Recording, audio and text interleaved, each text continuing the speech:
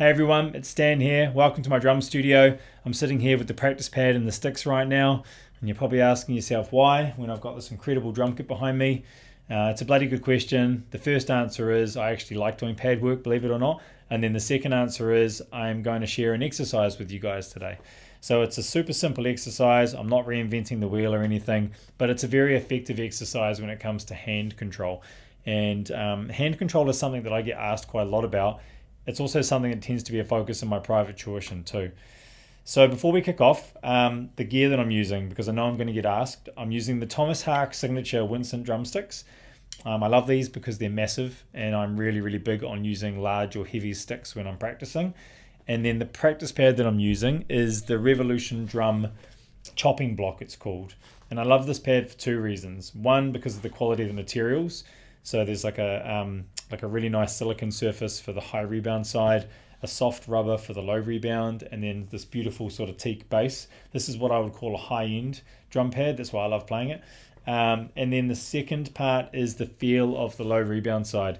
I think a lot of pads get this part wrong, but this is the feel of the low rebound. The workout side is perfect in my opinion. So yeah, the chopping block. All right, let's get into the exercise. So it's based around a six stroke, but it's the modern interpretation of the six stroke roll, where it's got the triplet, sort of 16th note triplet feel about it. So the sticking is right, left, left, right, right, left. All right, and then we'll keep that going.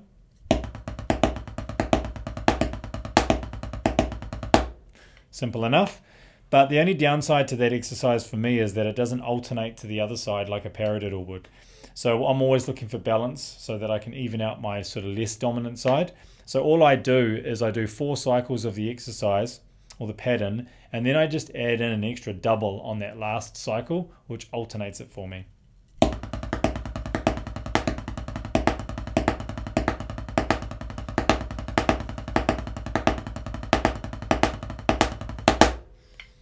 There you go. Simple exercise, but it's perfect for the forearms, the fingers, the hands. Um, the sticking itself is great because it covers singles, doubles, and accents. So when it comes to hand control, it's just a really, really good exercise. Um, and then, yeah, you can start to sort of speed it up and get more comfortable with it.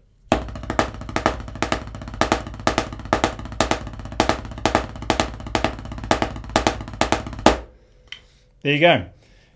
Super simple, not reinventing the wheel, very, very effective.